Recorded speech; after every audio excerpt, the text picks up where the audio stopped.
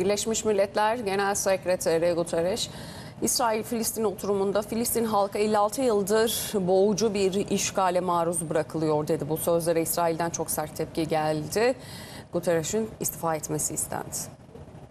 The Palestinian people have been subjected to 56 years of suffocating occupation. Birleşmiş Milletler Güvenlik Konseyi'ndeki İsrail-Filistin oturumuna Birleşmiş Milletler Genel Sekreteri Antonio Guterres'in o sözleri damga vurdu.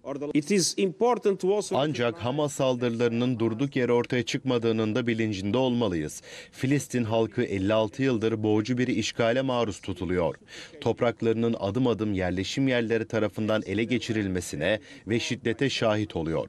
Ekonomileri yıkılmış, insanlar yerlerinden edilmiş ve evleri yerle bir edilmiş durumda. Siyasi çözümü olan inançları yok olmaya başladı. Guterres, İsrail'in bombardımanına karşı çıktı. Toplu cezalandırma yöntemini kabul edilemez olarak niteledi. Savaşın kuralları vardır dedi.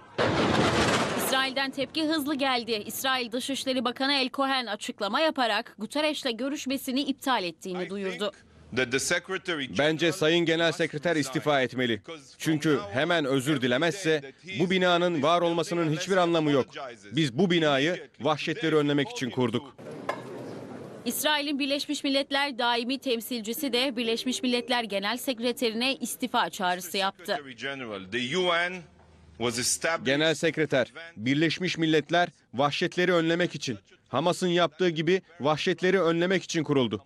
Ama Birleşmiş Milletler başarısız oluyor ve Sayın Sekreter siz de tüm ahlak ve tarafsızlığınızı kaybediyorsunuz.